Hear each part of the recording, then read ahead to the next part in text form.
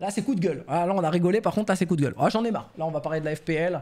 Euh, j'en ai marre. Je me ah non, je m'en tabasse les couilles là maintenant, c'est fini. Là, je suis, là, je suis, là, je suis énervé. je vous le dis, là, je suis énervé. On va parler de la FPL. Là, on va parler de la FPL parce que ouais, voilà, rachat Faceit, hein, Fusioned. Merci pour le sub, bienvenue à toi mon gars. Euh, parce que bien évidemment, que qu'est-ce qui se passe en fait? Bah les Saoudiens là, euh, ils ont racheté Faceit et tout, machin, et là il y a du remaniement. On voit qu'il y a du remaniement, donc bien évidemment des bonnes nouvelles. Faceit, donc la, FPL maintenant euh, est totalement fermée. Il n'y aura plus de qualif pour la FPL, ouais, faut le savoir. Tu ne peux que te qualifier en FPLC, et les gens seront invités en FPL avec des périodes d'essai. vous, vous, voyez le monopole? Vous voyez? Vous voyez arriver? Vous voyez arriver? Merci Boulanger. Des bisous mon frérot, merci pour le gift. Euh, j'ai déjà vomi, ça va faire mal. Non, mais c'est. Vous sentez déjà le, la dictature arriver. Vous sentez déjà le, la propagande arriver. Déjà, moi, j'avais un gros problème avec FPL. C'est que ces quatre dernières années où on voyait, on voyait le remaniement depuis qu'ils avaient eu le Major à Londres en 2018, là, pour le coup, c'est une catastrophe. Donc, je vais vous parler de ce qui se passe avec la FPL. C'est atrocissime. C'est atrocissime. Vraiment. Donc, euh, super Ils mettent 9000 dollars maintenant en FPLC. Moi, j'étais dans le top 10 pendant deux ans et demi en FPLC. Dans le top 10 tous les mois en FPLC. Je me prenais 50 balles par mois. Voilà, c'était euh, la folie. Aujourd'hui, il y a 9K. Il y a 9000. Donc, euh, c'est par semaine, je crois. et c'est par semaine. Donc, voilà. Donc, en gros, l'argent de la FPL, ils la mettent en FPLC. Donc, ils vont machin et tout. C'est nickel. Euh, et, la FPL, donc là, ils ont invité Xertion et Shawzy. Euh, c'est le mec de, de chez Mouse NZXT. Donc pareil, c'est des petites 15 ans et tout. Profil Monesi, profil Kyojin, profil Mizuta. Parce que c'est la propagande qu'ils qu'ils essayent de nous faire depuis 2018. De nous faire croire qu'en fait, tu vas en FPL et derrière, tu vas au Major et tu deviens joueur professionnel. Alors que les mecs, ils les invitent une fois qu'ils ont déjà percé. Et là, je suis très content que la news soit d'actualité parce que c'est ce qui arrive. Moose NZXT, là, ils invitent Xertion. Alors que dites-vous que JDC et Torzi sont déjà dans la FPL. D'accord? Ils sont déjà en FPL. Mais comment c'est possible d'inviter deux mecs du projet et pas les autres? Avant, il y avait des règles claires et nettes. Si tu étais en ESL Pro League, tu étais invité en FPL. Si tu étais en ESA première, tu étais invité en FPLC. Moi, j'étais en FPLC parce qu'on était en ESA première euh, et, on, était top 30 HLTV et ce genre de choses. Après, il y a eu un remaniement.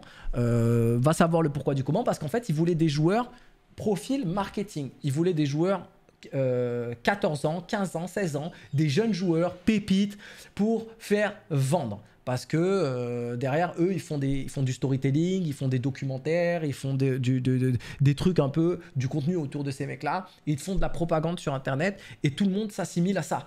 T'as 13 ans, tu vois Monesi, oh, il a percé grâce à la FPL. Robs, Robs, on nous fait croire qu'il a percé par la FPL. Alors que Robs, il jouait déjà avec HS euh, et plein de mecs de, de l'Estonie, hein, qui étaient déjà dans, le top 30 HLTV, étaient dans, dans, le subtop du T3. C'est comme double poney, ça fait euh, un an qu'ils tabassent tout le monde, qu'ils ont fait des qualifs majors, qui sont dans le top 30 HLTV, voire même le top 20 HLTV ces derniers temps jamais ils ont été invités. Joko, euh, Body, tout ça, ils n'ont pas été invités en FPL.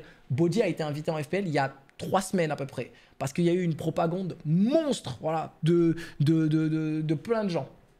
Euh, les joueurs d'LDLC euh, qui étaient dans le top 30 HLTV, etc. Afro également. Donc euh, c'est magnifique. Mais Joko, est-ce qu'il y est Joko Lucky, est-ce qu'il y est également dedans Exercise, est-ce qu'il y est Pourquoi on invite deux joueurs et pas toute l'équipe?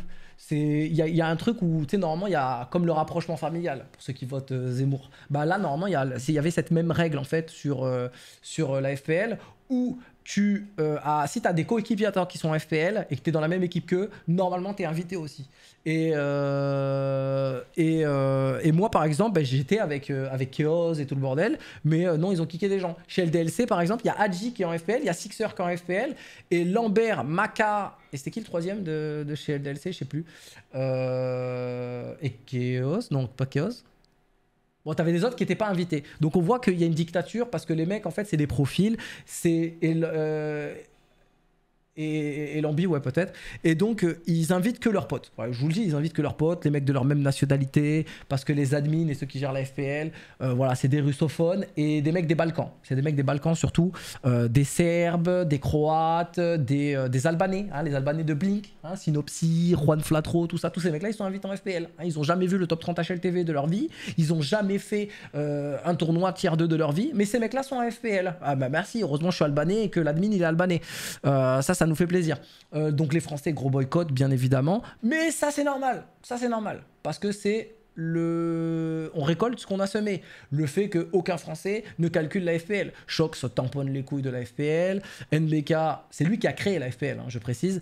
Euh, NBK s'en cogne également. Il a cédé après, mais c'est lui qui a créé l'idée euh, de base. Et euh, mais il, joue pas. Kenny S n'y joue pas non plus. Bon, là, il est bench, il joue, mais sinon, il n'y joue pas. Hein, depuis 2000, je sais pas combien, 14 que c'est créé la FPL. Il n'y a personne qui y joue en France.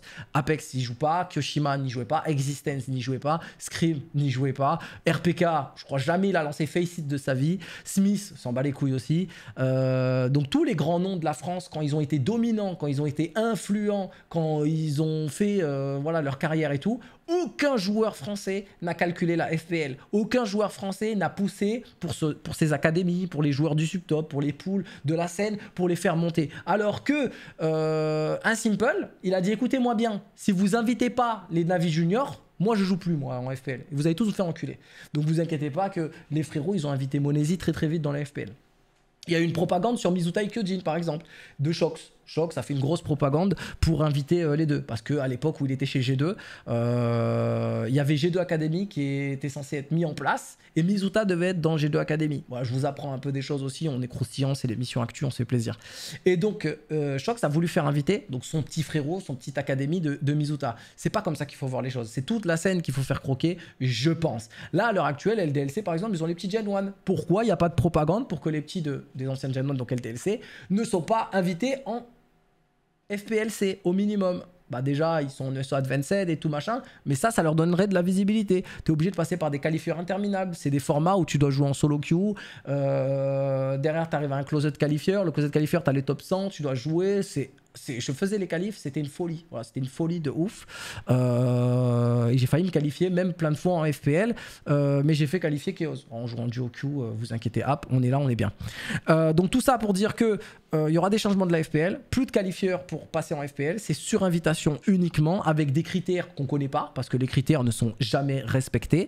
c'est que des profils qui veulent où tu es jeune et où tu vends, voilà, où tu vas vendre un petit peu. Profil stream, profil YouTube profil, euh, profil, tu vas vendre, tu vas faire des billets, quoi. Et ça, euh, moi, j'aime pas du tout. Donc voilà, il y a de l'argent, euh, etc. Ça fait du bien, mais j'en ai marre. Voilà, la FPL, c'était mon coup de gueule de la FPL pour vous expliquer un petit peu le fonctionnement de la FPL, comment est-ce qu'ils gèrent ça depuis des années. Il n'y a aucun souci, hein, ça fait de la visibilité, il y a de l'argent j'ai aucun mal à ça. Mais il y a des Turcs, par exemple, qui ont été invités dedans, qui sont des YouTubeurs, juste parce qu'ils ont des grosses, grosses, grosses, grosses, grosses fanbase. Les mecs, compétitivement, ils sont rincés de chez rincés. Donc, euh, soit tu privilégies l'aspect compétitif, soit tu privilégies l'aspect marketing. Et dans ce cas-là, bah, tu invites des streamers, tu invites de tout et tu te fais kiffer. faut savoir qu'en NA, la FPL, elle est gérée que par les Américains. Et là, pour le coup, il y a Mo qui est dedans, il y a les anciens pros et tout qui sont dedans, il n'y a aucun souci. faut savoir qu'en FPL en Europe, c'est pas du tout le cas. Tous les anciens pros ont été kickés. Je crois que XMS, il avait été kické quand il jouait encore avant qu'il switch sur Valorant, avant qu'il switch sur Fortnite. Maniac a été kické. Smith, Smith a été kické. Kyoshima a été kické. RPK a été kické.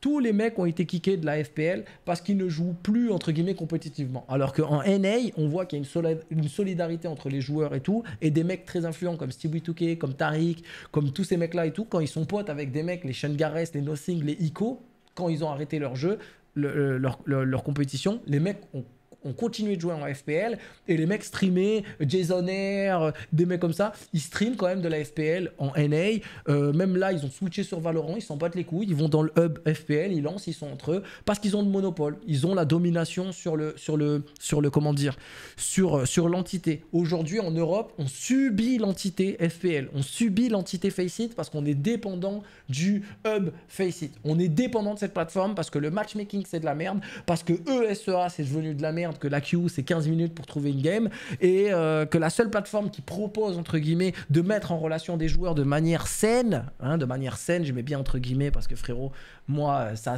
ça se menace de mort et tout, toutes les games c'est n'importe quoi. Euh, bah c'est le Hub Faceit. Hub Faceit, il y a des hubs un petit peu communautaires. Euh, on nous fait croire que c'est un peu mieux, etc. Parce qu'il y a des admins qui gèrent le truc et tout. Mais c'est la même chose. Il y a du racisme, il y a plein de trucs et tout qui se rappellent de quand j'ai été ban, euh, alors que je me faisais insulter de, de musulmans et tout le bordel. ça, fait, ça, fait, ça avait fait 400 ou 500 000 vues, je crois, sur Twitter. Donc je pense qu'il y en a qui auront euh, la mémoire rafraîchie avec cette information. qui était un hub qui était géré par un Français d'ailleurs, qui ne fait absolument aucun passe droit, hein, ou piston, ou je sais pas, en plus j'étais insulté, il n'y a même pas besoin de passe droit. Mais voilà, fuck la FPL.